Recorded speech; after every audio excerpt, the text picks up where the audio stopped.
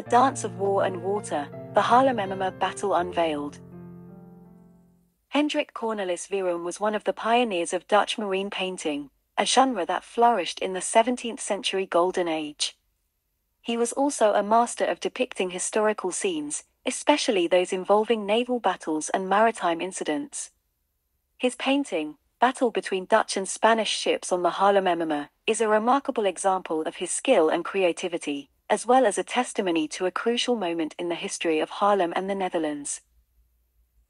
The painting, created in or after 1629, portrays a naval confrontation that took place more than 50 years earlier, in May 1573, during the Siege of Haarlem.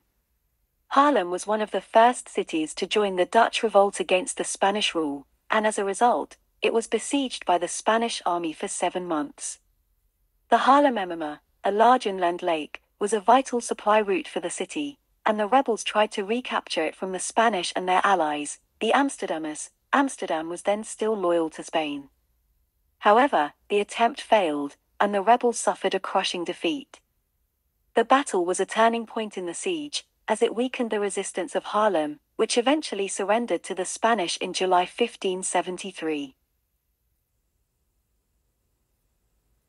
Vroom's painting is exceptional in that it depicts a defeat rather than a victory, which was uncommon in art. The reason for this choice lies in the fact that the Siege of Haarlem, despite its tragic outcome, was seen as a heroic episode in the Dutch revolt, as it demonstrated the courage and resilience of the Haarlemmers, and also exhausted the Spanish forces, paving the way for the subsequent victory in Alkmaar, 1573.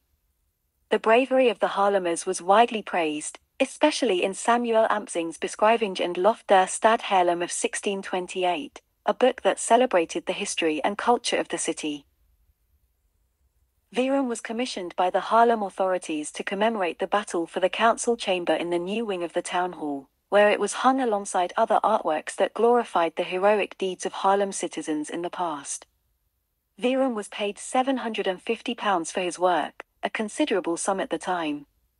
He based his painting on historical sources, such as eyewitness accounts and maps, but he also used his artistic imagination and license to create a dramatic and captivating scene.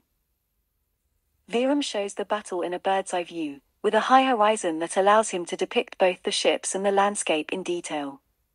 The composition is dynamic and balanced, with the Amsterdam and Spanish ships sailing from right to left, and the sea beggars, the rebels, sailing from the south. The ships are relatively small, as they had to navigate the shallow waters of the lake. The painting is full of action and movement, with the ships firing cannons, flying flags, and maneuvering in the water.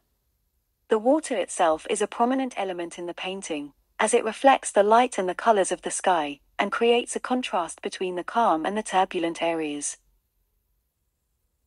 The background features the skyline of Haarlem, seen from the east, with its distinctive buildings, such as the St. Bavo's Church, the Town Hall, and the windmills.